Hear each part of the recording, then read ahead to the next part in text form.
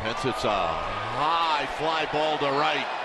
Kemp back at the wall. Out of here.